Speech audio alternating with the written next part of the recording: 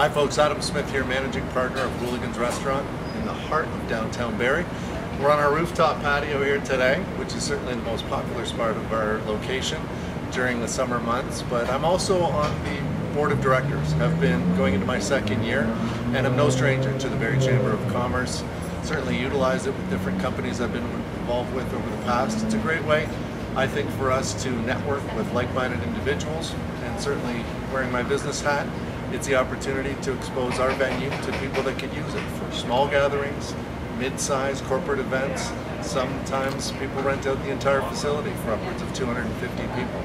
So if you're thinking of a small dinner out for two people, uh, a business luncheon, a customer appreciation event, or maybe that special occasion in your business, a retiree or an anniversary, think of Hooligans Restaurant.